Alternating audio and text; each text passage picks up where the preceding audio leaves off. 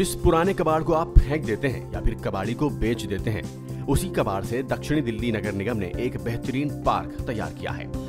इसे नाम दिया गया है वेस्ट टू वंडर पार्क इस पार्क में व्यापकता, भव्यता, सुंदरता के साथ साथ इन प्रतिकृतियों के पुरातन महत्व की वजह से दिल्ली को नई पहचान मिलेगी। सात एकड़ में कलाकारों के सधे हुए हाथों से तैयार प्रतिकृतियाँ अपनी खासियत की नायाब दास्तान है। यहाँ आईफल टावर की ऊंचाई 60 फीट है। इसे बेहद खूबसूरत लाइटों से सजाया गया है। पीसा की मीनार असली की तरह ही थोड़ी सी झुकी हुई है। इसकी ऊंचाई 25 फीट है।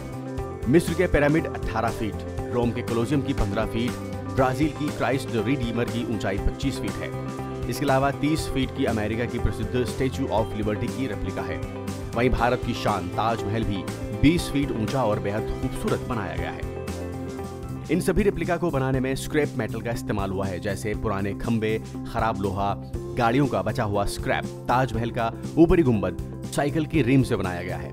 इसी तरह बाकी अजूबे भी angle nut bolt cycle metal sheet automobile parts पुराने बर्तन और बेकार पड़े लोहे से बनाए गए हैं।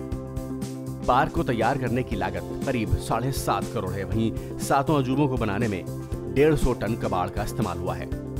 इस पार्क का निर्माण करके दक्षिणी दिल्ली नगर निगम ने कचरे का प्रसंस्करण करके शहर की सुंदरता बढ़ाने की पहल के रूप में किया है।